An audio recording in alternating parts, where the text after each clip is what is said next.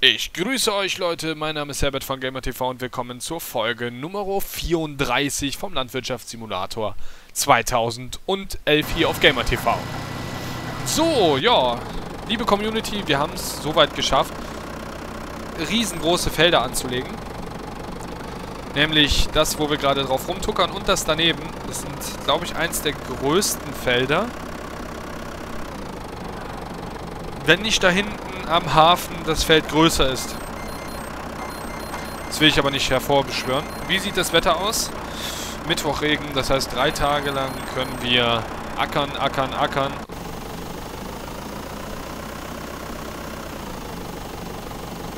Ach, da geht's lang. Sagen, wie fährt der jetzt? Ganz komisch. Ja, er hier hat einen super großen, super großen Grober bekommen. Ich weiß, dass es per Mods größere gibt, aber momentan der Hey! Das Sandmännchen ist bei mir um 2 Uhr mittags. 14 Uhr. Sagt mir das Sandmännchen Hallo. Super freundlich vom Sandmännchen. Ich gar nicht erwartet von ihm. Hau rein, Junge.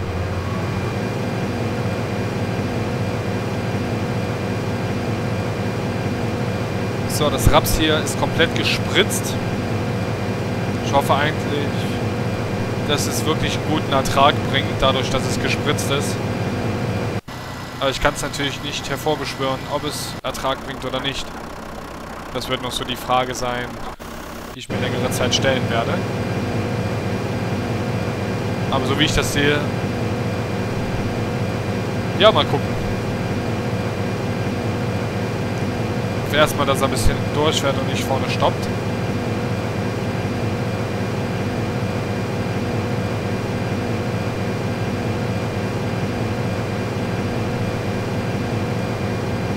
Ja, wie gesagt, ich hoffte es, aber dafür fuhr er zu schief. Naja, was soll's.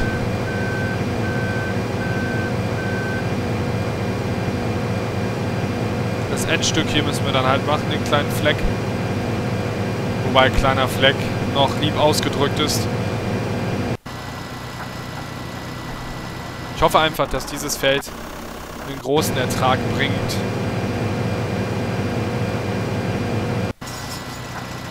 So, er grobert weiter. Er hoffe ich auch. Ja, wunderbar. Er sprüht weiter und fährt weiter und macht sonst was weiter.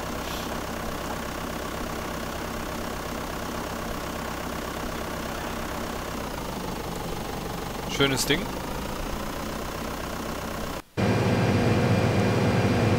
Okay, Raps füllt sich relativ langsam auf. Durch die Spritzung natürlich dennoch schnell. 23% eine Bahn. Ja, es geht. Also ich habe mir mehr erhofft. Wird doch nicht so der große Ertrag werden.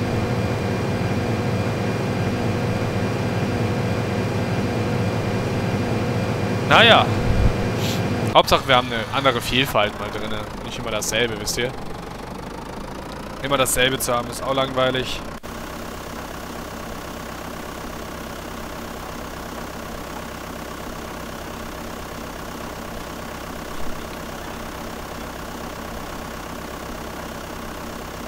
Ich gehe mal kurz auf Toilette.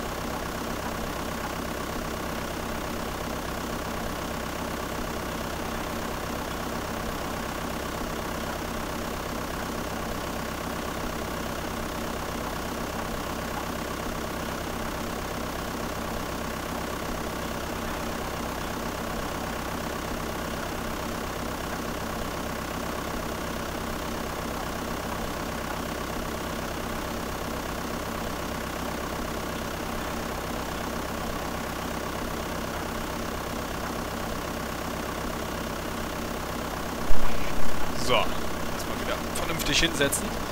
Äh, stöhnen.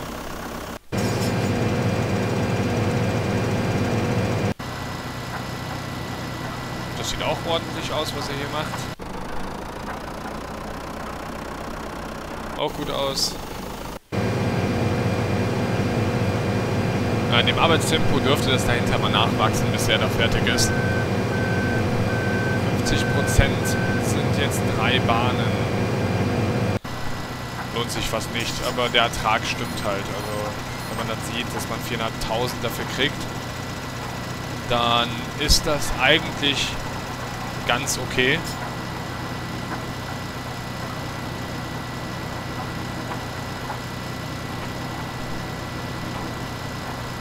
Ja, Livestream am Sonntag, den 2.9.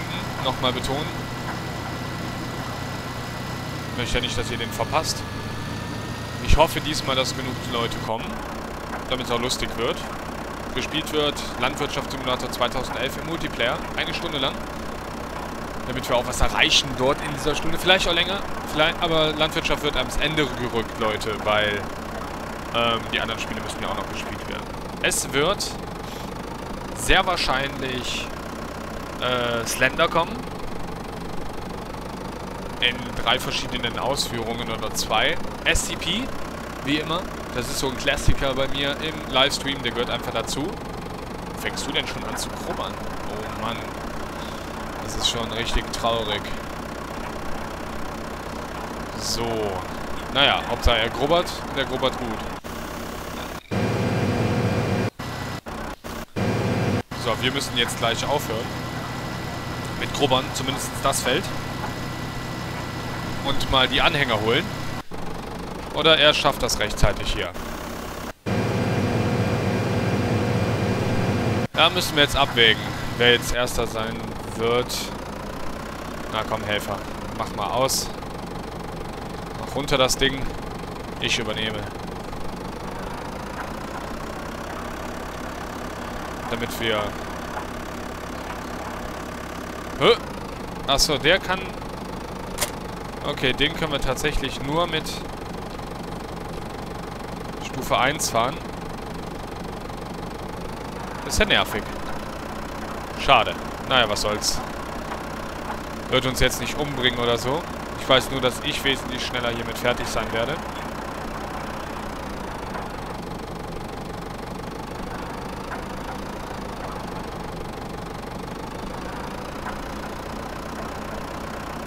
Als der Helfer. Wenn der Helfer nämlich hier immer wenden muss und drehen muss und wenden muss und drehen muss, das dauert ja ein halbes Leben lang. Das wird jetzt erstmal vermieden.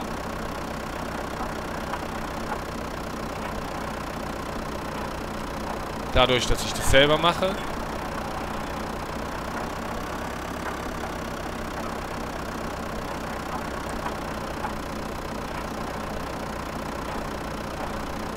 So. Das sieht doch alles ordentlich aus. Machen wir so Streifchen.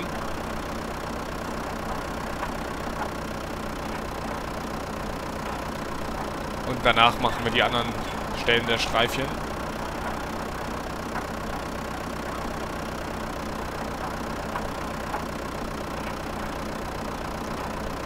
So.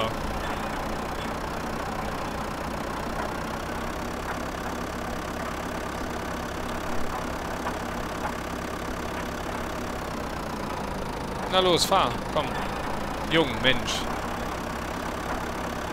Macht mir keine Kummer. Das Feld hier muss fertig werden. Heute noch.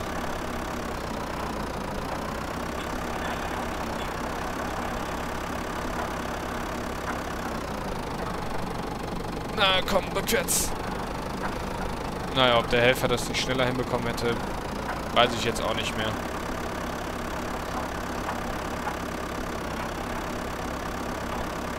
So. Hätte es wahrscheinlich ordentlicher gemacht. Aber hier geht es momentan nicht um Ordentlichkeit. Ordentlichkeit, tolles Deutsch. Sondern es geht um fertig machen. Weil er da vorne schon steht und wartet auf die Entladung seiner Ladung, so gesehen.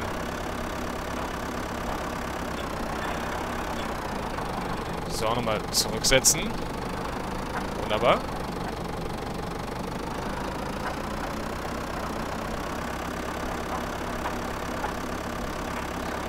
So, dann haben wir das erledigt. Den verlieren wir mal spontan und rasen mit voller Geschwindigkeit los.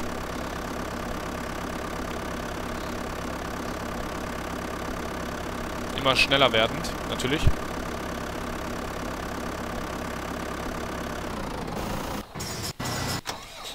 Gerade schauen. Wo sind wir denn? Wenn ich über diesen Berg hier kommen würde werden wir schneller da sein, aber...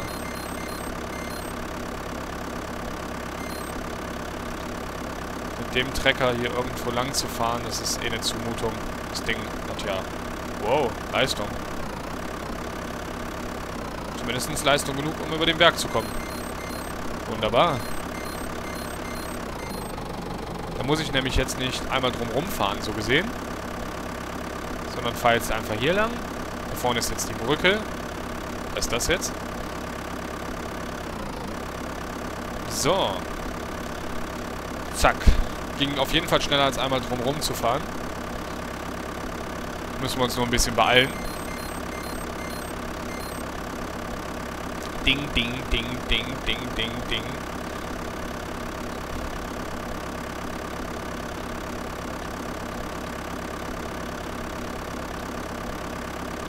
Hä?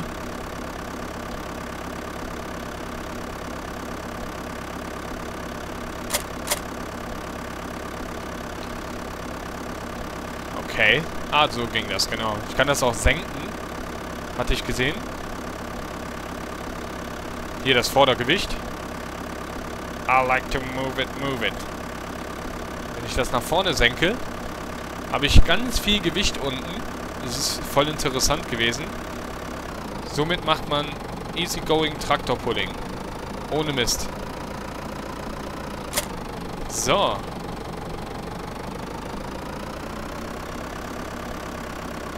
Ich bin beeindruckt. Der kleine Trecker schafft... Schafft er die? Ich gebe Vollgas, Leute.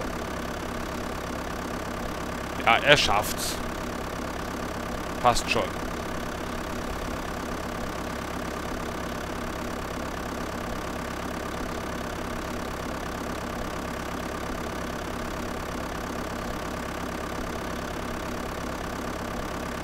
Wunderbar, das klappt ja wie am Schnürchen hier. Jetzt erstmal zurücktackern. Tuckern. Fallen fast die Augen aus. Irgendwie zwar den ganzen Tag gepennt, aber immer noch so müde wie sonst was. Wahnsinn. Ich leg mich gleich nochmal eine Stunde auf die Couch, glaube ich. Danach kommt Alan Wake. Auch noch hochladen.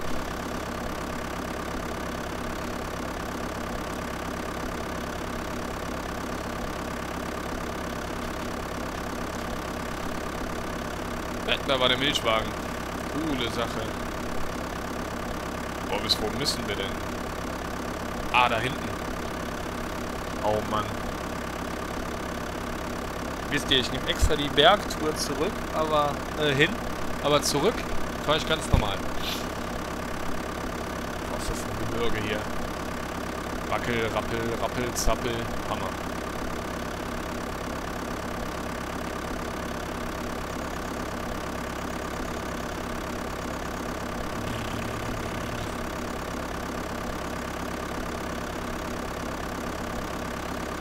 So, junger Mann, wir sind unterwegs. Bald ist es vorbei mit deiner Vollheit. So.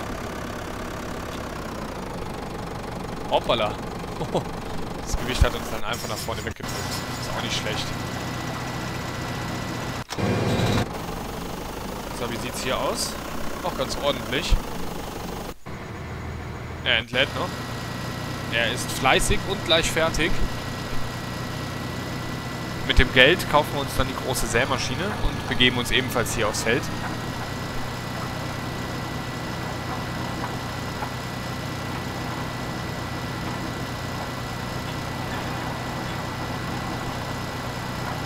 Sind das eigentlich so echte Maschinen? So Horsch und so, gibt's die?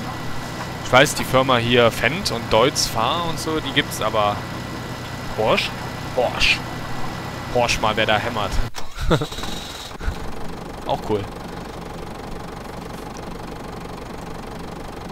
Wir müssen immer noch aufpassen. Unser, Eck, äh, unser Traktor hat nur noch 47 Liter. Der hat jetzt zwar nicht so einen hohen Verbrauch. Aber wir müssen dennoch mal ein Auge drauf halten.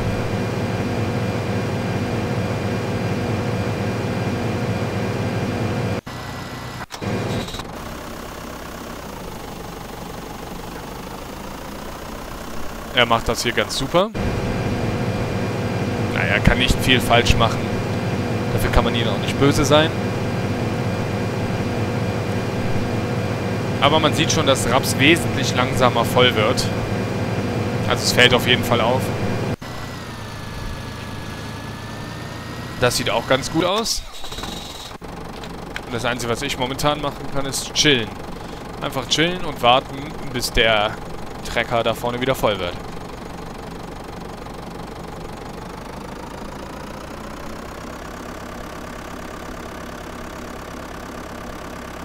Hi. Äh, so, wunderbar.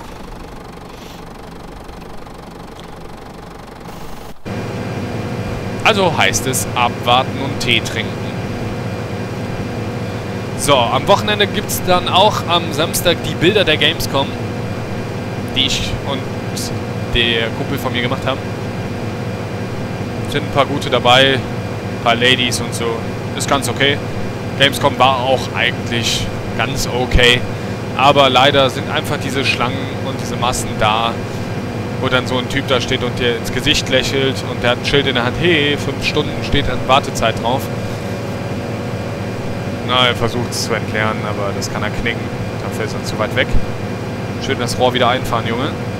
Wir sind hier nicht bei den Pferden. Du musst nicht angeben, dass du das größere Rohr hast hier. Rein damit. Braver Junge.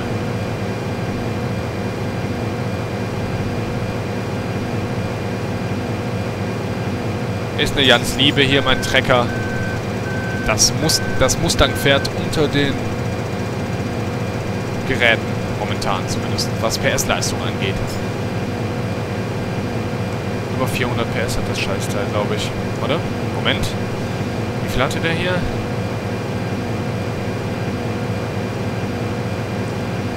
Ja, 450, nein, Quatsch, 366 PS. Nicht schlecht.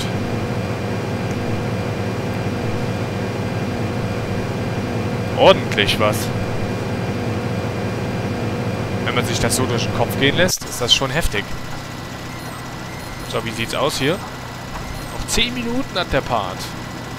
Dann schafft der hier es wahrscheinlich fertigzustellen, das Feld.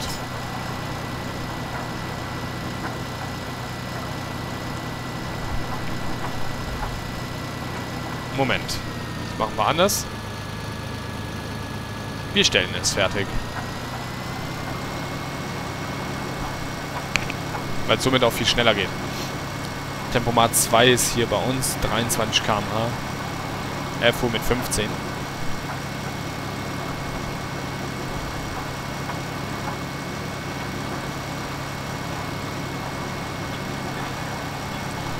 Dann geht das Ganze auch viel schneller und wir haben auch was zu tun.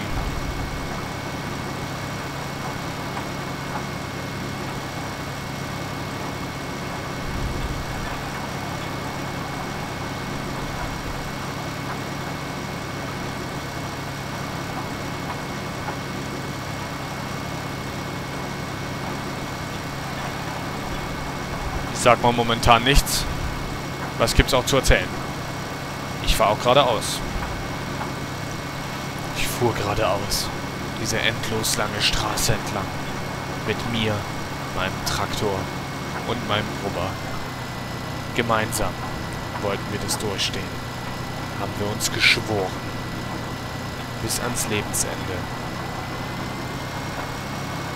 Doch der Sprit ging immer leerer und leerer dann war der Traktor am Ende.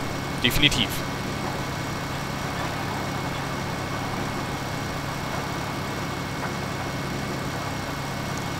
Es ist eine sehr starke Konzentrationssache, sich echt auf diese Ecke da zu konzentrieren, dass auch alles erwischt wird. Sonst ist es echt Pustekuchen.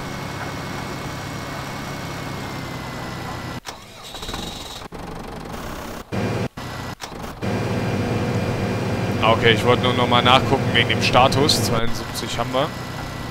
Prozent.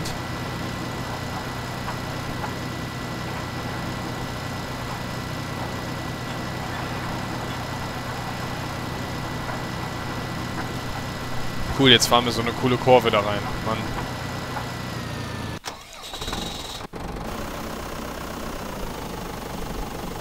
Das sieht auch ganz okay aus, was er hier zaubert. Macht seine Arbeit sehr gut. Er kann nichts falsch machen. Er sowieso nicht. Außer er macht schon die ganze Zeit was falsch. Das wäre natürlich dann nicht so schön.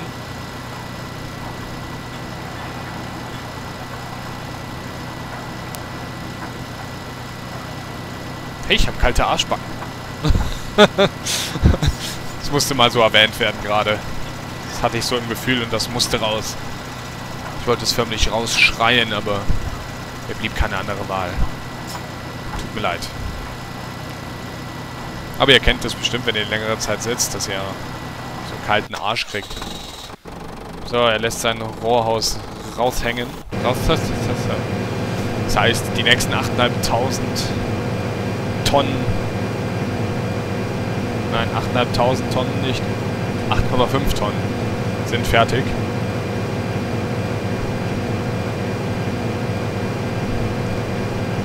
Wahnsinn. Dass sich das Ding überhaupt noch bewegt. Wundert mich schon ein wenig. Ja, uns soll es ja egal sein. Wir interessieren uns ja nur für den Inhalt. Das heißt, eine Drehung machen. So, wunderbar. Mit unserem großen Traktor hier. Jetzt machen wir die große Drehung über den Berg. Die sieht so aus. Einige kennen sie schon. Wunderbar. Und fahren in Richtung ihm, denn gleich sollte es vorbei sein.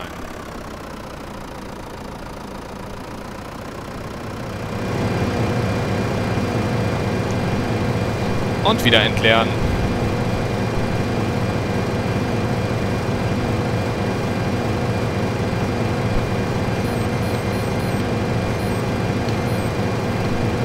Ramsti Damsti. Wahnsinn.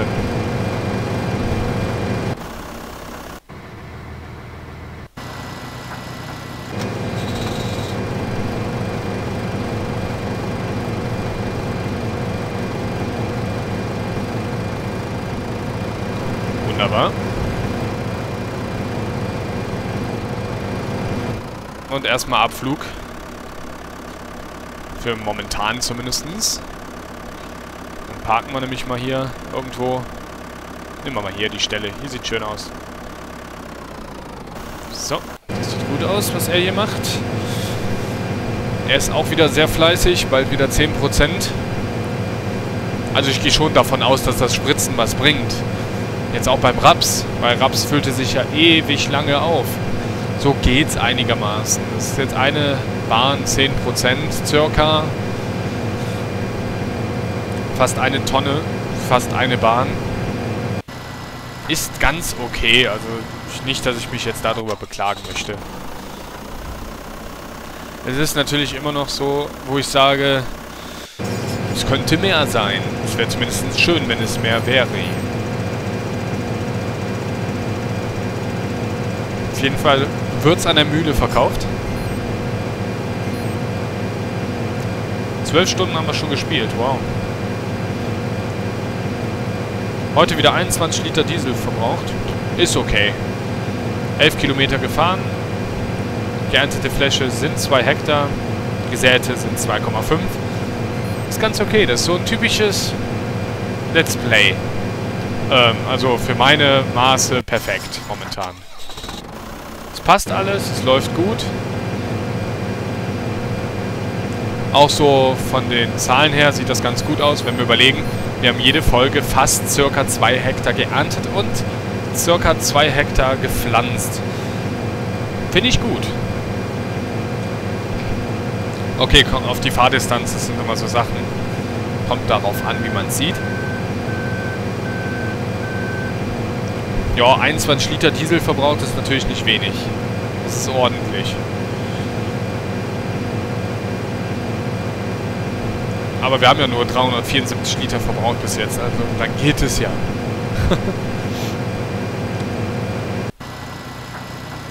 Aber ich glaube, dass die anderen Fahrzeuge ja kein Diesel hier verbrauchen. Die vom Helfer. Nur wenn ich selbst fahre, verbrauche ich welchen, glaube ich. Das heißt, ich selber habe 21 Liter Diesel verbraucht. Ich bin ja fast enttäuscht von mir. So wenig nur? Die Zahlen sind aber echt interessant zu lesen.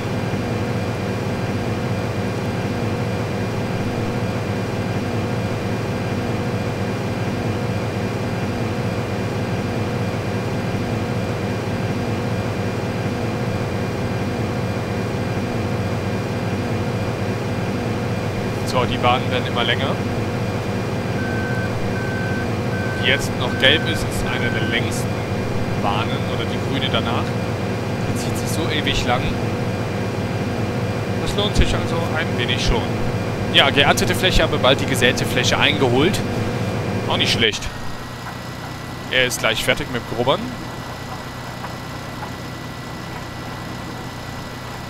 Hat aber ordentlich was geschafft mit dem kleinen Ding hier. Naja, klein. Relativ gesehen, ne?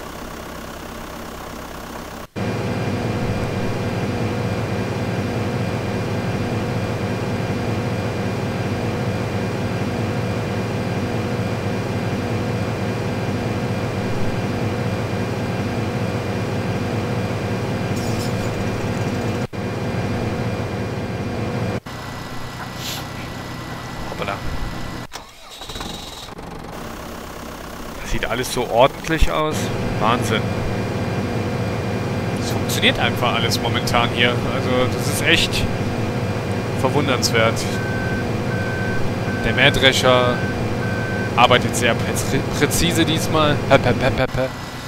Der Groberer grobert sich hier einen weg, als ob es... Okay, das, der Fehler, da bin ich schuld, sonst hätte er den nicht gehabt. Ich stehe nur doof rum und warte. Und er sprüht hier einen sich ab bis zum geht nicht mehr und ist auch gleich fertig, Leute.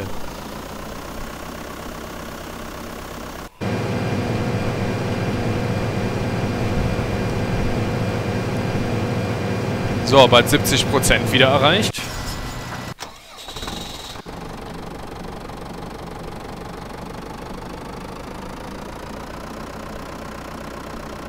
So, ein Stück vorfahren. Müssen ja nicht weit.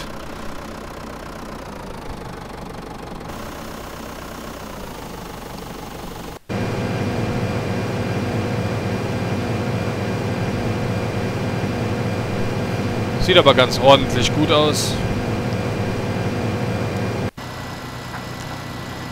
Er hat nur noch 46 Liter. Okay, das ist nicht mehr so viel Sprit.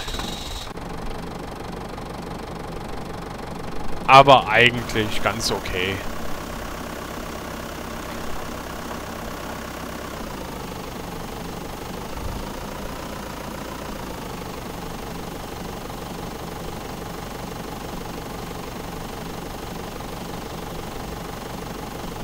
Jung, was ist dein Problem? Schieb es weg.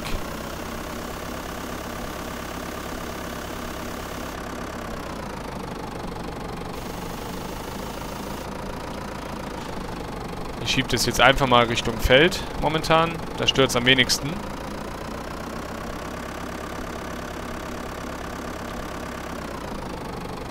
Zumindest bis zum...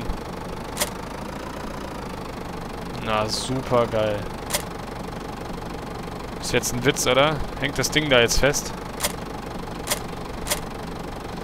Leck mich doch am Arsch. Bleib halt drauf stehen. Ich red mich doch jetzt nicht dafür auf. Dann ist der Rest hier halt ungespritzt.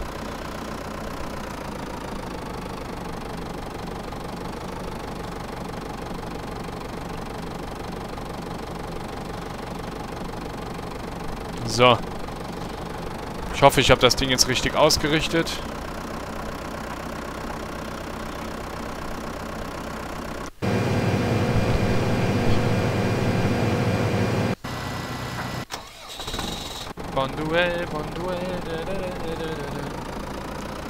So, die geerntete Fläche haben wir bald so weit, dass wir die gesäte Fläche überholen.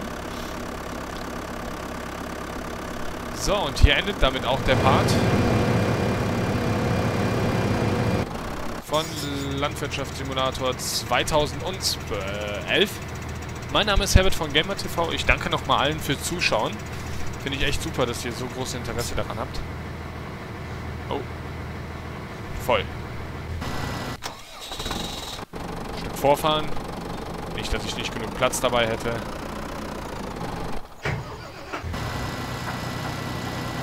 Ah, er ist bei der letzten Bahn. Das heißt, das haben wir auch schon fertig geschafft. So, Leute. Es ist fast geschafft. Sehr ertragreich heute. Viel gefarmt, viel geschafft. Gut, bis zum nächsten Part, dann Nummer 35 hier auf Gamer TV. Mein Name ist Herbert. Ich wünsche euch einen angenehmen Tag noch und vielen Dank, dass ihr zu der Community Gamer TV gehören möchtet. Wenn ja, macht ein Abo. Wenn nicht,